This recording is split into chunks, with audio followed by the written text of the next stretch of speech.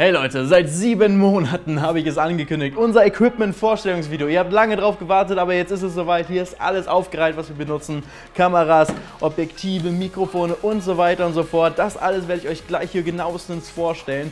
Aber dieses Equipment-Video allein hatte schon seine, seine, ganz eigene Geschichte. Das habt ihr vielleicht im Vlog gesehen. Ähm, aber bevor ich jetzt hier weiter drum rumrede, Leute, was wir hiermit alles anstellen, dazu gibt es gleich mal ein kleines Best. Viel Spaß.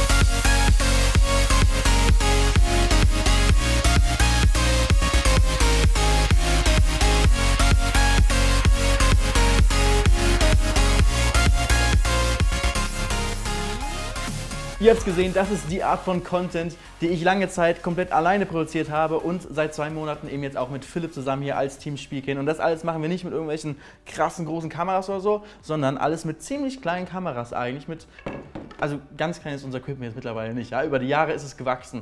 Aber was ich einfach am, am, Anfang dieser Vorstellung euch sagen möchte, es kommt nicht auf das Equipment an. Je besser das Equipment ist, desto krasser kann natürlich die Bildqualität sein und so weiter. Aber das Wichtigste ist, dass euer Gesamtvideo gut funktioniert. Die Story ist wichtig, eure Ideen sind wichtig. Und auch wenn man nur mit dem Handy filmt, kann man schon sehr fette Sachen erreichen. Also lasst euch nicht irgendwie erzählen, man braucht das krasse Equipment, um, um gute Videos zu machen. Das geht auch so. Aber ich mache das jetzt seit sieben Jahren und äh, habe das Glück, mittlerweile so ein riesen Arsenal hier an Technik angesammelt zu haben und benutze auch sehr gerne. Und ihr interessiert euch dafür, deswegen stellen wir das eben hier äh, heute vor. Und ich fange jetzt einfach mal an mit dem Mikro, mit der neuesten Sache, die wir hier benutzen. Das hier ist unser Voice-Over-Mikrofon. Ihr habt es vielleicht schon gesehen, wir experimentieren auch immer weiter und haben immer neue Ideen, die wir sozusagen hier benutzen ähm, für die Vlogs. Und dieses Mikro benutzen wir, ähm, um im Nachhinein sozusagen immer noch was zu vertonen, um die Geschichte weiterzuerzählen, Sachen, die wir vielleicht vor Ort vergessen haben oder die man erst in der Nachbetrachtung gut erzählen kann. Das machen wir hier äh, mit diesem Mikro. Da stellt man sich einfach eben hin und spricht dann da also rein, kommt noch ein Popschutz vor und es geht dann sozusagen direkt ins, ins Schnittprogramm rein. Dazu kommen wir aber hier gleich später noch mit dem Laptop. Ähm, dann geht es weiter mit verschiedenen Mikrofonen. Äh, eins davon habe ich hier auch gerade an, das ist das ähm, Rode äh, Lavalier Mikrofon, ganz normal Rode Lavalier. Äh, hier noch, das ist das Rode NT-USB. Also alle Produkte, die wir benutzen, verlinke ich auch unten in der Beschreibung. Eins muss ich noch sagen, Leute. Alle Produkte, die hier sind, bis auf eine Sache habe ich selbst gekauft, komplett selbst gekauft. Hier, die Drohne, kommen wir gleich noch zu, die habe ich von DJI äh, damals kostenlos bekommen. Ansonsten ist jede einzelne Sache, ich vergewissere mich gerade, ja, jede einzelne Sache habe ich selbst vom eigenen Geld gekauft, kein Rabatt, irgendwas. Es ist kein Placement, nichts davon, alles selbst gekauft. Ähm, aber ja, dieses Mikro ist eben auch so ein Ansteckmikrofon, so wie das hier. Das hier ist allerdings ein äh, DPA die genaue Nummer, die 4080 äh, BM. Das ist ein sehr qualitativ hochwertiges Mikro, aber mit Richtmikrofon. Deswegen ist es umständlicher als, sag ich mal, die, die hier mit Kugelcharakteristik benutzen wir bisschen seltener. Ähm, das ist sozusagen eher unser Standardmikro, die Rode Lavalier Mikrofone. Und die gehen über eine Funkstrecke. Das sind diese Sachen hier, davon haben wir drei Stück. Eins hat Philipp gerade an, der kann auch gerade mal Hallo sagen wahrscheinlich deswegen. Ne? Hallo! Da hört man hier hinter der Kamera. Ja, der hat auch schon eins an, der kommt dir gleich auch noch vor die Kamera. Aber das funktioniert sozusagen hier rüber. Also das Mikro geht einfach übers Kabel, geht dann hier rein und äh, der sendet das Ganze dann ähm, über Funk hier ran, an, an diesen Empfänger. Und der wird an die Kamera auch wieder mit einem Kabel angeschlossen. Und äh, so habt ihr sozusagen Sound. Weil das Wichtigste bei dem Mikrofon ist nicht, dass man das beste Mikrofon hat, sondern die beste Position. Das heißt, wenn das Mikrofon äh, hier ist sozusagen direkt beim Mund und hat eine ziemlich ideale Position, ja, ich bin kein Soundtechniker, das kann man noch besser positionieren und so weiter und so fort, aber das ist schon relativ gut, weil es einfach nah ist. Und das ist viel wichtiger, als dass man ein super gutes Mikrofon hat, was aber vielleicht drei Meter weg ist. Ähm, deswegen, wenn immer es geht, sollte man das Mikrofon von der Kamera runternehmen und sozusagen näher an die Person ranbringen. Bei Vlogs ist es schwer, solche Ansteckmikrofone zu benutzen, weil man immer hin und her schwenkt. Deswegen benutzen wir da eher solche Mikrofone. Das hier ist ein Sennheiser ähm, MKE 400. So, ich muss alles hier aus dem Kopf sagen, weil es steht ja nicht drauf. Ähm, aber es ist wie gesagt alles unten in der Beschreibung verlinkt. Und das habe ich lange Zeit benutzt, hier mit Mikro, mit, äh, mit, mit äh, Mikrokabel.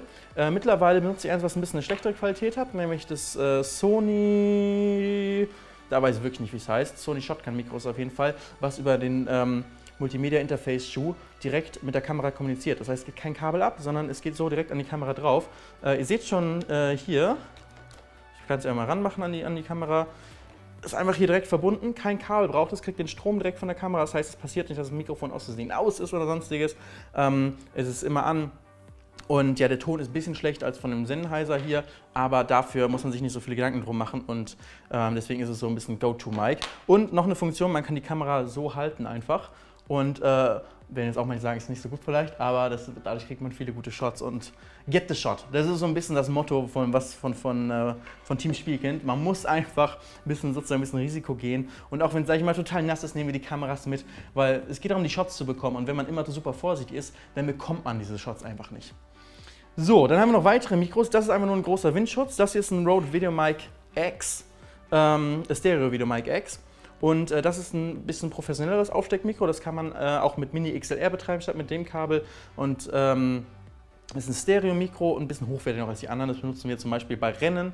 Ähm, und ähm, wenn wir sozusagen Motorensound, Stereo-Atmosphäre einfangen wollen, dafür ist das Mikro halt ganz gut. Aber häufiger benutzen wir die Richtmikros, weil die einfach ähm, eine gerichtetere Wirkung haben, kein Stereo, aber halt wer vor der Kamera ist, den hört man besser. Hinter der Kamera ist ein bisschen schwerer wieder, ein bisschen blöd, aber meistens ist man halt vor der Kamera.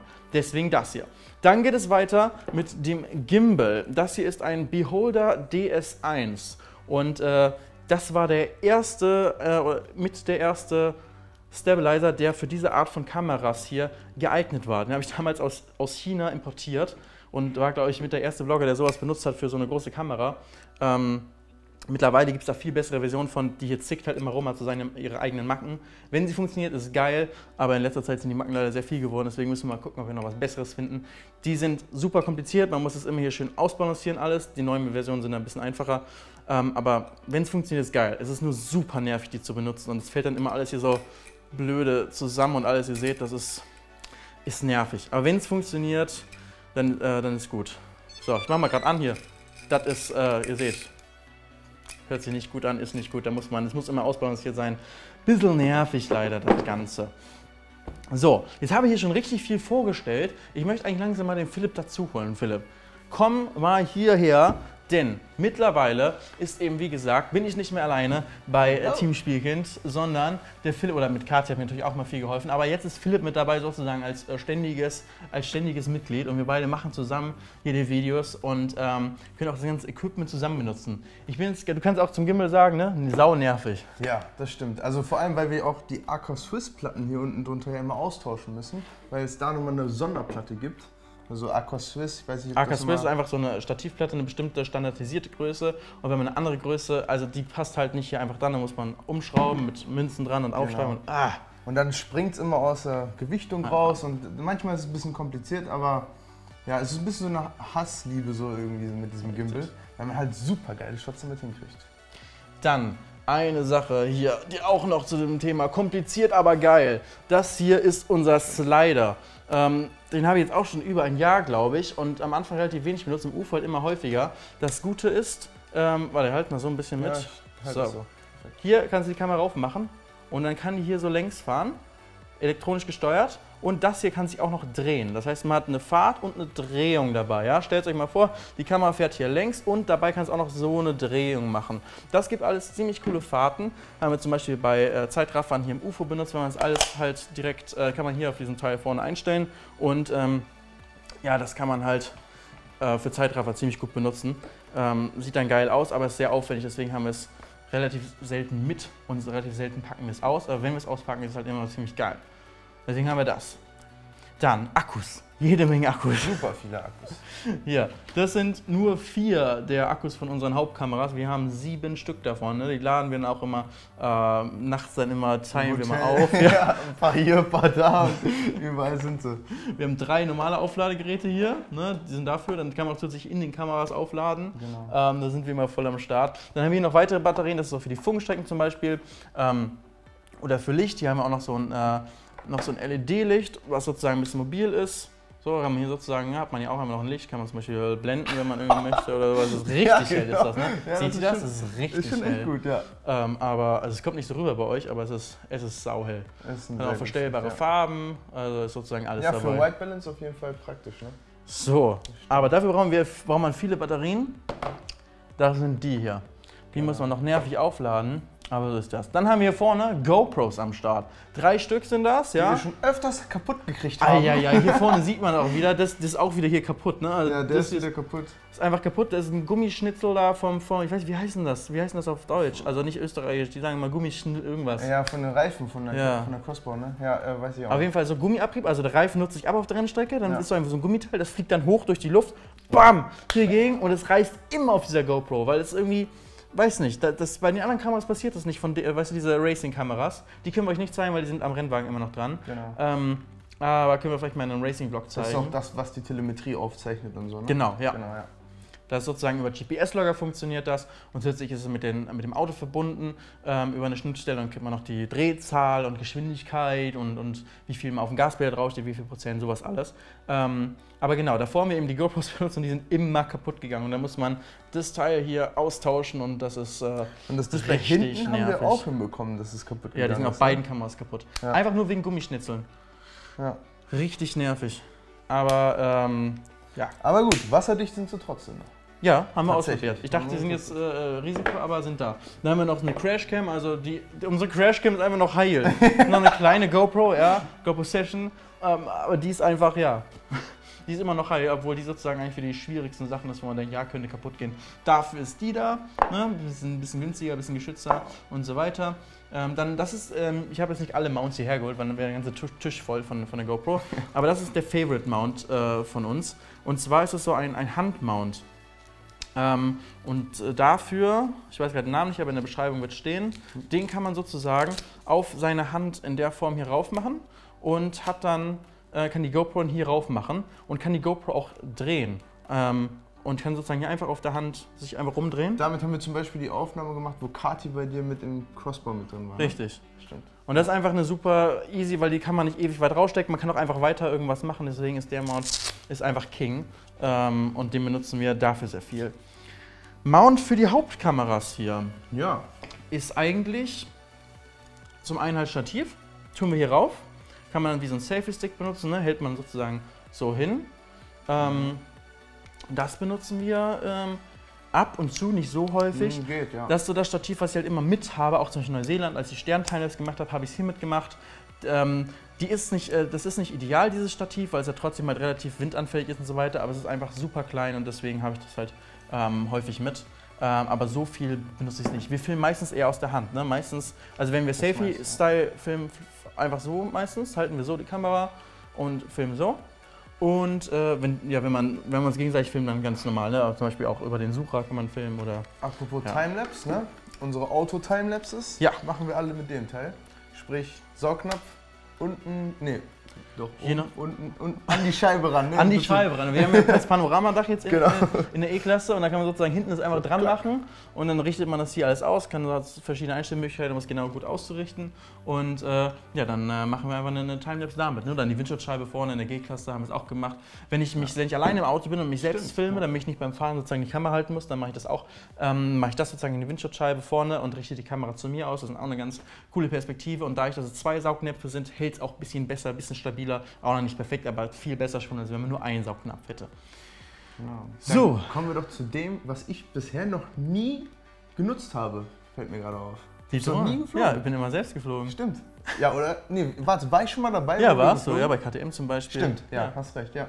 Ja, also erzähl du mal. Du kannst doch wissen, was dazu sagen. Das hier ist äh, meine Go-To-Vlogging-Drohne. Ich habe zwar auch noch die äh, Phantom 4 zum Beispiel, eine größere Drohne, aber ich benutze, seitdem ich diese habe, nur noch diese hier. Denn sie ist klein. Also schaut euch das an. So ist sozusagen die flugbereit. Ja, aber man kann das Ganze hier äh, ziemlich schnell sich einfach sozusagen hier so zack und zack und dann machst du den hier noch rein und den hier noch rein und schon ist das Ganze richtig klein. Und dann ist er, ja, kannst du es in so eine kleine Handtasche reintun und dann ist das Ding fertig und die Qualität ist immer noch ähm, auf jeden Fall nutzbar.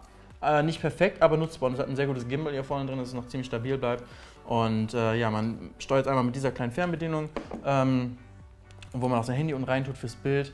Du kannst Kilometer weit weg damit fliegen, darf man gesetzlich gar nicht, ja, aber halt die Technik ist super gut. Ja. Und äh, ja, also fürs Vloggen gibt es eigentlich keine bessere Drohne. Es gibt jetzt noch eine kleinere, die hat eine Richtig. schlechtere Qualität, ne, die Spark. Müssen wir auch nochmal ausprobieren, wie gut die, die ist. Die kannst du halt noch leichter mitnehmen. Und Äh, noch aber- mit der Hand steuern. Und mit der Hand steuern alles. Aber das ist so, müssen wir mal gucken, ob das sich für uns lohnt. Aber die ist auf jeden Fall für uns schon mega, mega geil. Ja. Dann, äh, was hier vorne seht ihr es, ja? Also hier noch einmal einen Selfie-Stick, ja, benutzen wir auch, aber ultra selten. Also ich benutze so selten den Ich Selfie-Stick. beim Kajak-Ding habt ihr es einmal Ja, da haben wir es benutzt, genau. Aber ansonsten benutze ich so selten. Apropos Kajak, das, obwohl nee, wir kommen erst zu den Laptops, würde ich sagen, ne? Ja, können wir machen hier. Das, Kajak, ja? so. Genau. Das ist ein Unterwasser-Gehäuse, also nicht Gehäuse, Tasche für diese kleine Kamera. Das ist die Kamera, die ich bei der äh, Mini-Tour, bei der Mini-Longboard-Tour benutzt habe als, als äh, szenische Kamera, sag ich mal. Ich habe mit der Lekra gefilmt, diese ganz oldschool-Vlogging-Kamera, die jetzt auch gar nicht mehr hier ist, weil ich benutze sie einfach nicht mehr. Liegt alles zu Hause, ist nicht im UFO, deswegen ähm, nicht wundern, dass die nicht da ist oder meine 5D ist auch nicht hier, weil die benutzen wir einfach nicht mehr aktiv zum Vloggen ähm, normalerweise, sondern das alles, was wir hier aktiv benutzen, liegt sozusagen auch wirklich gerade hier. Ähm, so, das ist diese Kamera. Vorteil davon, du kannst sozusagen hier das Display ausklappen, siehst dich selbst. Ja, da könnt könnt ihr mal sehen, so sieht das hier aus, äh, wo wir gerade filmen. Und ähm, was ihr da, könnt ihr, könnt ihr das sehen, Leute, ja? Ihr habt hier oben, haben wir nämlich noch einen äh, Rekorder dran und so weiter, ein Ton ist alles da am Start. Ähm, dazu aber später mehr. Ähm, der, was ich gerade sagen wollte ist, das hier packt man hier rein, in dieses Gehäuse. So eine Tasche einfach, macht man luftig hier zu. Und dann kann man halt unter Wasser damit filmen, bis zu, keine Ahnung, zwei, drei Meter. Du kannst nicht richtig tauchen, aber du kannst ein bisschen unter Wasser gehen damit. Ja. Und das damit zum Beispiel ein Kajak benutzen, da hast du halt eine bessere Qualität als mit einer GoPro. Ähm, aber trotzdem ist es noch relativ kompakt, du kannst es dir umhängen. Es ist sehr nervig leider zu benutzen, weil du kommst immer schlecht an Zoom und alles ran, aber es ist, macht schon mal ein bisschen bessere Aufnahmen und dafür benutzen wir das sozusagen. Genau. So, aber jetzt kommen wir da vorne hin, Leute. Nämlich zu wirklich eigentlich mit dem wichtigsten Bestandteil. Erstmal das da drunter, erstmal die Laptops. Runter, genau. Wir haben beide ein äh, 15 Zoll MacBook Pro, nicht das neueste mit der Touchbar hier unten. das ist sogar meins. Ah, das ist, das ist äh, Philips hier. Genau, das, Äh, das ist und wir haben sogar die Passwörter jetzt beide gleich eingestellt, damit wir die immer wieder zwischendurch tauschen können. das einzige Mal mit erkennt, dass du hier äh, ich habe so irgendwie irgendwas da hast. dran geklickt. Ansonsten müssen wir eine fette Team Spielkind aufkleben. Eigentlich schon, ne? so ne? einmal richtig durchbranden. Aber das sozusagen, hiermit machen wir alles. Ich gehe hier mal eigentlich mal direkt hier, ne, ähm, ich mal rauf. Zack, und direkt Final Cut auf. So, das ist unser Schneideprogramm, Leute. Wir schneiden alles mit Final Cut, wir beide. Graden auch alles in Final Cut und ähm, also Color Correction und so weiter und rendern damit raus. Das alles machen wir 100% damit und ähm, das ist einfach für uns das perfekte Programm, weil es ziemlich schnell rausrennt. Es ist perfekt optimiert aufs MacBook Pro. Es gibt Windows-Laptops, die haben mehr Leistung. Ähm, und da könnte man zum Beispiel mit Premiere schneiden, was ich früher gemacht habe. Ich bin aber seit der China-Reise gewechselt auf Final Cut Pro. Es war eine harte Umstellung. Ich habe gestöhnt und geflucht. Aber Echt? es war, ja, es war so hart, Okay. weil alles anders ist. Aber ich sag euch, es lohnt sich. Man ist danach, also für so einen Vlog, Also für Workflow ist so viel ja. schneller, weil man einfach gute Möglichkeiten, um mit, mit Shortcuts, ich mache so viel mit Shortcuts, ähm, mit I und O wählst du was aus, packst du mit Q, W und E, packst du an die richtigen Stellen rein und switcht da durch die ganze Zeit. Ist einfach super geil und ähm, ja, ist für den Vlog-Workflow perfekt. Und so schneiden wir einfach immer beide zusammen. Ähm, häufig entweder am, wenn wir zurückkehren an zwei verschiedenen Vlogs halt oder ähm, wenn wir gerade aktuell sind, dann schneiden wir am selben Vlog. Fängt einer vorne an und einer fängt hinten an. Und Dafür ist dieser Lifesaver da. dafür ist diese Festplatte, Leute, die ist der Wahnsinn. Das ist keine Festplatte, es ist eine SSD. Dieses kleine Miniteil hier, hierauf passen, sage und schreibe, 2 Terabyte. Und das Ganze geht über USB 3. Punkt, keine Ahnung wie viel. Ja, äh, so schnell. Also Ja. wir kopieren hier unsere Mediatheken, sind dann immer so 50, 60 Gigabyte groß von einem Tag.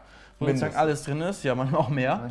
Und die kopieren wir echt innerhalb von drei Minuten. Konntest du von interner Festplatte oder SSD auf diese SSD gehen. Und so schicken wir es einfach hin und her sozusagen und können die ganze Zeit dann sozusagen unsere Fortschritte teilen miteinander und äh, schneiden so zusammen und äh, können häufig dann haben, haben wir am Vlog dann über 10 Stunden Zeit, die wir pro Vlog brauchen, aber wenn wir zu zweit sind, nur fünf jeweils, dann geht das Ganze halt wieder. Kann man sich Zeit sparen. Apropos ähm, Zeit und Akku und all so ein Zeug, dafür haben wir das hier natürlich, ne? Richtig, auch ein Lifesaver, den hat Kathi uns besorgt.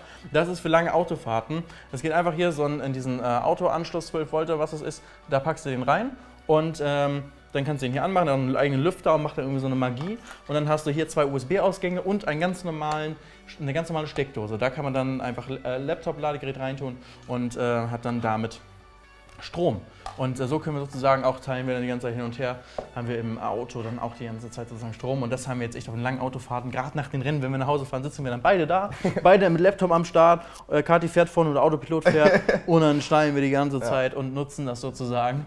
Ähm, ja, ohne das wird es wahrscheinlich nicht funktionieren.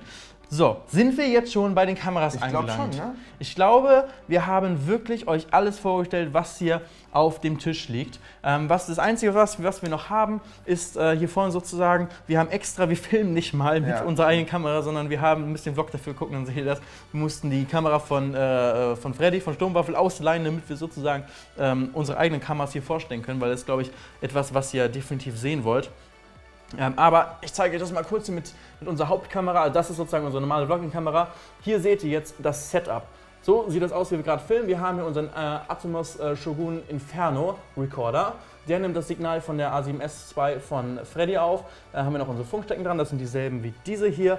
Und äh, ja, der nimmt das alles auf. Wir sehen uns da auch. Und hier sitzen wir. Das ist sozusagen das Set mit noch äh, drei ähm, LEDs, ähm, äh, Soft-LEDs. Die packe ich euch auch mal in die Beschreibung, wie die, äh, wie die heißen. Oh, noch was, was wir momentan noch nicht finden, ist irgendwie meine Schuld, keine Ahnung, ist, also wir haben einmal das Stativ, aber oben drauf kommt ein Fluidkopf, sprich, damit kriegen wir Videoneiger diese, diese, beim- Genau, ein Videoneiger, genau, damit wir diese schönen Schwenks kriegen, wenn Felix im KTM Crossbow gerade mit, was weiß ich, wie viel kmh gerade entlang ballert und ich dann einen schönen, smoothen Shot kriegen kann.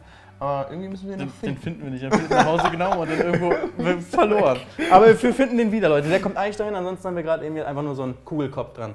Ähm, ja, das dazu. Jetzt packe ich diese Kamera hier aber wieder weg. Die werden wir gleich vorstellen. Das ist nämlich unsere Hauptkamera. Und ähm, ich würde sagen, ich fange mal bei den. Ähm, die Kamera haben wir schon, so klein hier, G7X. Dann äh. GoPros haben wir schon vorgestellt. Die G7X, Ja. ist die G7X nicht irgendwie mit daran schuld, dass wir uns überhaupt kennen? Weil, Weil ich habe darüber ein Video bei dir gesehen, glaube ich. Genau, und dadurch... Ah, ich kann nicht schon vorher. Habt schon vorher Videos Ach, bei dir vorher sogar schon? Ja. Ach was, krass. Aber davon habe ich auch ein Video bei dir gesehen. Ja, auch nicht schlecht. Äh, auf jeden Fall habe ich, ähm, äh, hab ich dann noch hier diesen Camcorder, den haben wir auch bei den Rennen benutzt. Der hat einfach einen super großen Zoom. Das heißt, du hast ganz weit reinzoomen, ist super Ja. stabil, ähm, weil es einfach so ein krasses Stabilisierungssystem äh, hat, diese Linse hier. Und ähm, das, äh, ja, damit kann man einfach sehr weit zoomen. Dafür ist das gut. Ein bisschen ein spezieller Einsatzzweck. Die Bildqualität ist schlechter als von allen anderen Kameras, die wir haben, deswegen benutzen wir es nur relativ selten. Dann die Facecam und die frühere Ramblecam ähm, ist das hier. Ist eine Panasonic GH4, hat einen klappbaren Bildschirm, ganz gute Zoom Range und trotzdem ziemlich klein und leicht noch, kann 4K aufnehmen. Das haben wir immer für Ramble früher benutzt. Apropos Ramble, Leute, es wird wieder kommen. Es ist versprochen, diesen Sommer gibt es wieder regelmäßig Ramble. Ähm, früher haben wir diese Kamera benutzt, jetzt würden wir wahrscheinlich eine von denen hier benutzen. Ähm, und vor allem auch noch den Shogun Inferno, diesen Recorder, weil wir damit auch XLR und alles noch direkt alles reinballern können. Ähm, dafür ist der Recorder da oder halt für solche Sessions, damit wir uns selbst sehen können und eben alles machen können. Ähm, ja, so viel dazu. Ähm, und genau, warum so, so ein Kabel rauskommt, das ist, damit man ständig Strom dran hat. Das ist für die Facecam einfach wichtig, dass man das hat. Und jetzt ist es gleich soweit. Jetzt kommt es zu der meistgestellten Frage seit zehn Jahren, seit, seit gefühlt seit ich Vlogs mache. Ey, welche Kamera benutzt du? Das ist die Frage, die immer gestellt wird. So, Nie, äh, so weißt du, es geht nicht darum, wie machst du das Video, wie machst du das und das. Nee. Was hast du dir dabei Welche überlegt? Kamera? Nee, genau, was hast du dir dabei überlegt? Nee, welche Kamera? Mit welcher Kamera machst du das? Also erstmal das Wichtigste, es kommt mehr auf das Objektiv an, als auf die Kamera selbst. Also du kannst echt mit vielen verschiedenen Kameras mit demselben Objektiv ähm, ein ähnliches Ergebnis erzielen.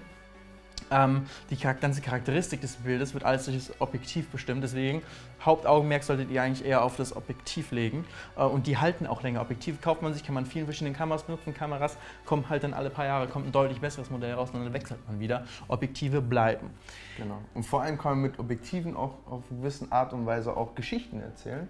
Weil mit einem reingezoomten kannst du einen ganz anderen Bildlook geben wie mit einem Weitwinkel, ganz klar halt. Ne? Also wenn du sozusagen eine lange Brennweite benutzt, ja, also zum Beispiel ein, das ist jetzt noch nicht super lang, ja, aber hier zum Beispiel ein 85 mm Objektiv, ähm, so ein leichtes Tele. Das heißt, es ist, ähm, ja, wenn ich hier stehe Ja, und jetzt so auf euch sozusagen gehe, dann wäre nur noch, nur noch die Kamera drauf. Wenn ich jetzt allerdings mit so einem Objektiv hier filmen würde, ähm, was hier gerade drauf ist, ein 18 mm, dann ist der ganze Raum zu sehen. Genau. Und dadurch gibt es eine ganz andere Bildwirkung und wie du gesagt hast, entweder man ist mittendrin mit dem Objektiv hier oder man ist eher so der Beobachter von draußen und hat auch viel mehr ähm, Tiefenunschärfe und so weiter. Aber ich würde sagen, bevor wir jetzt weiter drumherum reden, Leute, das hier sind die beiden Teamspeaking-Kameras, die wir jetzt seit, ich jetzt seit anderthalb Jahren, glaube ich, benutze. Ich glaube, eins seit äh, fast zwei Jahren, äh, die hier seit fast zwei Jahren und die hier seit anderthalb Jahren. Die wurde auch zwischendurch geklaut. Ne? Die wurde, die S wurde geklaut, zwischendurch ist schon die zweite, ja. Die wurde zwischendurch geklaut in Amsterdam, ähm, inklusive diesem Objektiv. Das musste ich alles selbst neu kaufen, keine Versicherung hat gezahlt. Das war richtig, richtig, richtig bitter. Aber was soll's, Leute, Show must go on. Dementsprechend habe ich dann, äh, muss ich das alles mir selbst wieder besorgen. Ähm, aber ja, was sind das für Kameras? Das hier ist eine Sony A7R Mark II. Und bevor ich mit der gevloggt habe, habe ich mit einer Canon 5D Mark III gevloggt. Da war alles komplett manuell, habe ich alles mit diesem Objektiv hier, das ist das Tamron 15 bis 30 f2.8 gefilmt. Richtiger Brecher. Das hatte zusammen, das allein hier wiegt über ein Kilo. Dann habe ich damit auch die 5D, das waren dann äh, insgesamt mit Stativ zusammen, was ich dann so getragen habe, so Gorilla-Pod-mäßig, das waren drei Kilo. Das ist schon heftig. Das war heftig. Dann bin ich dann sozusagen irgendwann umgeswitcht auf diese äh, Sony A7R Mark II, ist auch Vollformat. Ja, das heißt, hier könnt ihr sehen, ist sozusagen ein schöner großer Sensor drin. Und der Autofokus ist äh, ziemlich gut. Man sagt ja immer, die A7S ist eigentlich die Videokamera und die A7R eher die Fotokamera. Äh, Punkt ist aber, die haben fast dieselbe 1080p Qualität und fast dieselbe 4K Qualität. Einziger Unterschied ist, die A7S ist viel besser in Lowlight. Das heißt, wenn es Nacht ist, wenn es dunkel wird, man kann ISO hier viel höher stellen, ohne dass es zu viel rauscht. Dementsprechend kann man hier äh, bei Nacht viel besser filmen, aber die hat einen viel schlechteren Autofokus. Und ähm, deswegen haben wir sozusagen zwei Kameras. ähm, die A7R ist halt viel besser zum Vloggen so, weil die hat einen guten Autofokus und man ist eigentlich immer scharf. Und ähm, weil manuellen Fokus habe ich früher gemacht mit der 5D, aber es ist so viel besser, wenn man einen Autofokus hat. Ja. Dann, Mikro habe ich vorhin schon erzählt, ist dieses Sony, was äh, hier einfach so drauf ist. Ihr seht auch, das ist ein bisschen kaputt, also man kann das hier mal so bisschen bewegen. Jetzt sollte ich nicht zu sehr, dann geht es kaputt. Ist schon sehr, habe ich runtergefallen. Ist äh, Kati auch mal kaputt gegangen. Und hast du nicht auch mal eins kaputt gemacht? Nee, mein Bruder hat eins kaputt gemacht. Ich hab noch Du, äh, dir kaputt. ist das kaputte noch mal kaputt gemacht? gegangen. Ich habe das hier kaputt gemacht. Mir ist die runtergeknallt und dann habe ich hier so eine riesen Ei, Macke ei, ei. Aber, Aber das ist wieder, ist wieder get the shot wieder. Du Ja, musst halt, ist so. wenn du super vorsichtig bist, dann kriegst du die Da Shots nicht so. Bin Man muss gegen eine GT4 gelaufen. Gegen was? Achso, Gegen eine GT4 und dann zeigt die Kamera. Ich so, nein! Aber ihr seht, ihr werdet bei uns nicht sehen, dass wir unachtsam mit den Kameras äh, umgehen und die irgendwie einfach runterfallen und wir nicht das Equipment achten, sage ich mal. Aber man muss trotzdem, man muss in die Situation reingehen, man muss versuchen, was Gutes zu filmen. Ansonsten kriegst du halt irgendwie den guten Shot nicht. So, da, das, ist, das ist einfach ein Punkt. Ja. Da muss man ähm, und äh, deswegen, ja, hat, hat alles hier seine Macken, überall sind hier Sachen dran. Ähm, aber trotzdem, bei uns fällt nicht irgendwie einfach, einfach auch so sehen, weil wir nicht darauf achten, was runter, sondern weil wir einfach immer, wenn, wenn du immer in der Action bist und immer die versuchst, die besten Shots zu bekommen, dann fällt halt irgendwo was runter.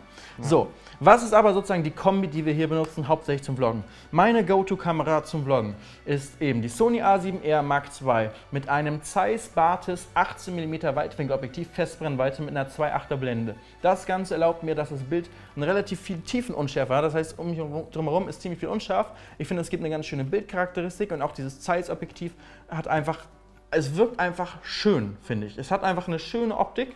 Ähm, Lensflares sehen ganz geil aus, die Farben sind gut. Das ist einfach so ein Objektiv, das ist immer ein bisschen subjektiv auch zu beschreiben, ähm, hat einfach so eine, seine eigene Charakteristik immer. Und das finde ich bei dem Zeiss-Objektiv eigentlich ziemlich cool. Viele Vlogger benutzen die A7R oder A7S und benutzen aber eben genau das Objektiv, was ich am Anfang auch benutzt habe, bevor das hier rauskam.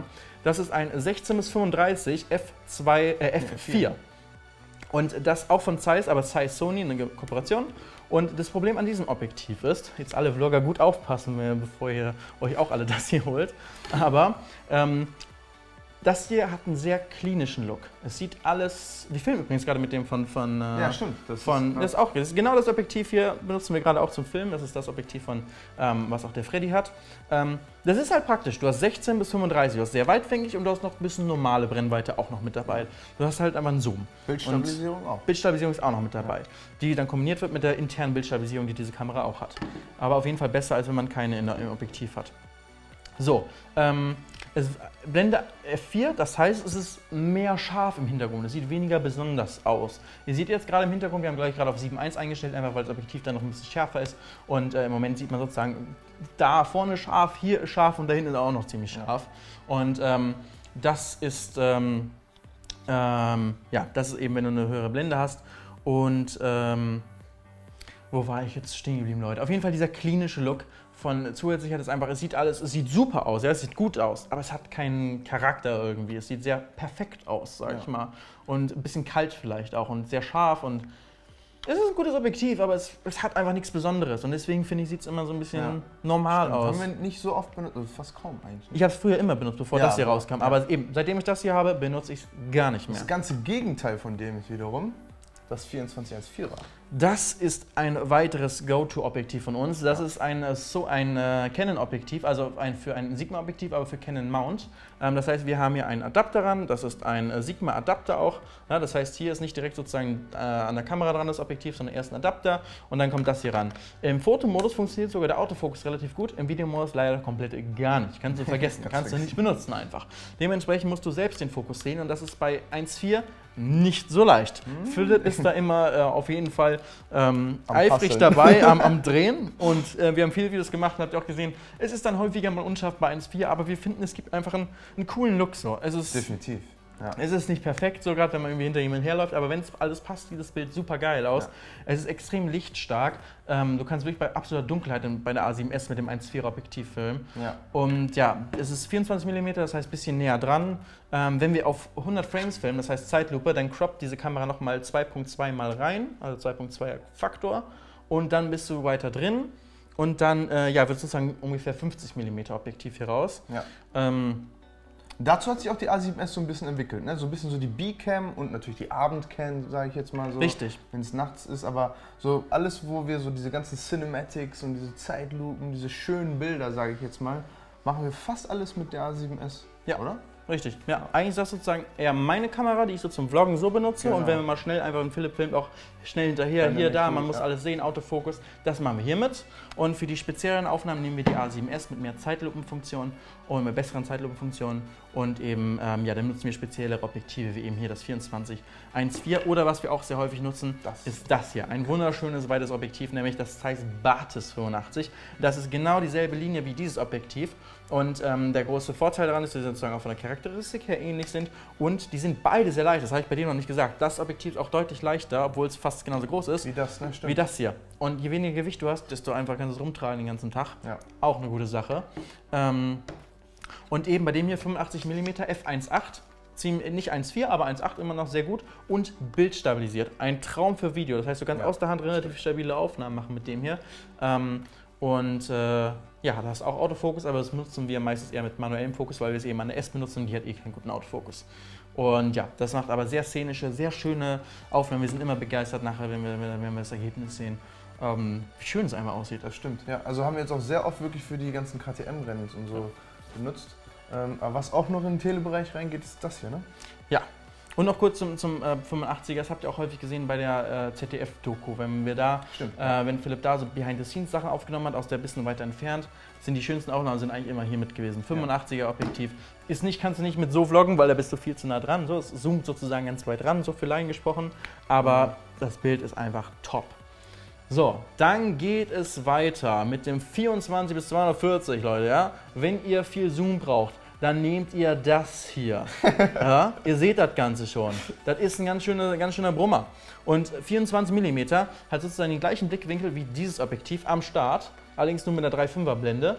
Und wenn man dann hochgeht, dann ist nur noch eine 6,3er Blende. Aber dann geht man bis 240 und damit kannst du sozusagen richtig weit zoomen. Also kannst du da hier vorne ins Fenster reinschauen und so weiter. Ist auch für die Rennen ganz cool.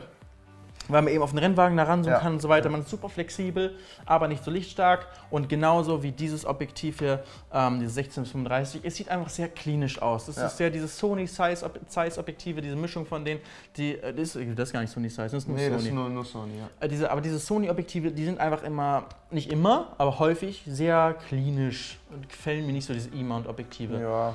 Und es gibt auch krasse von denen, ne? Also zum Beispiel 85er 1.2 äh, 1.4. 1.4 G-Master. 1.4 G-Master. G-Master. Wir haben ja von Dennis ja. das 70-200er mal. Das ist auch geil, ja. Das war sehr gut, ja. Aber ja, diese die sind einfach zu klinisch hier.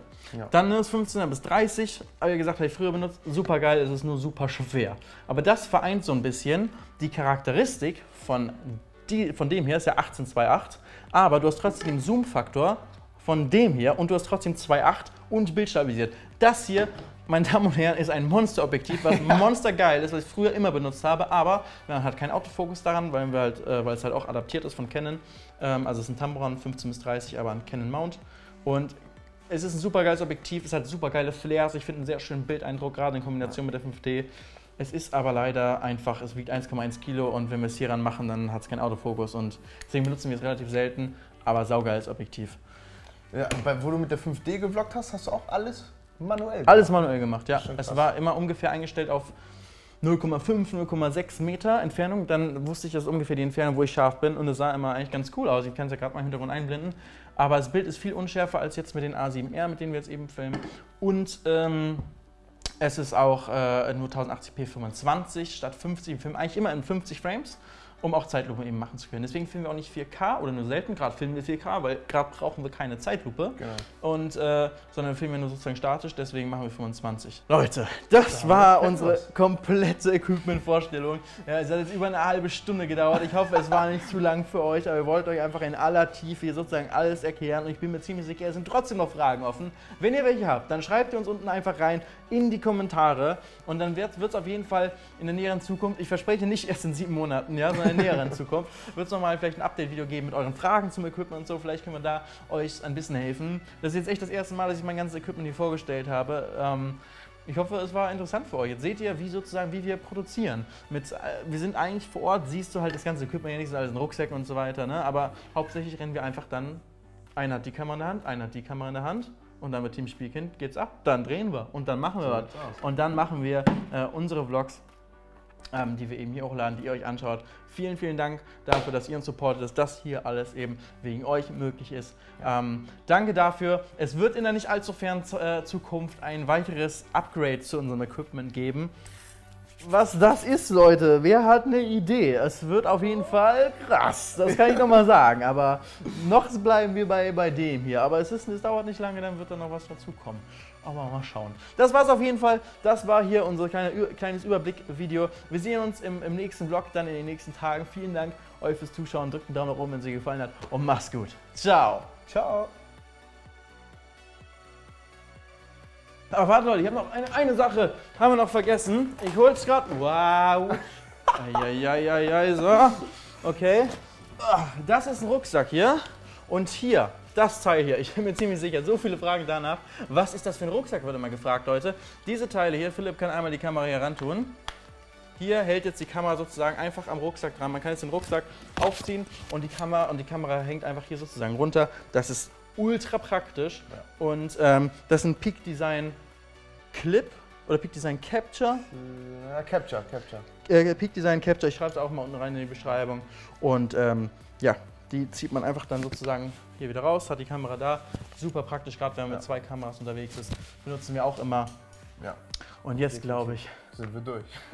ich habe mir alles vorgestellt. Habt ihr noch Fragen, schreibt sie in die Kommentare. Das war's von Team Spiegel, Leute. Mach's gut. Ciao. Tschüss.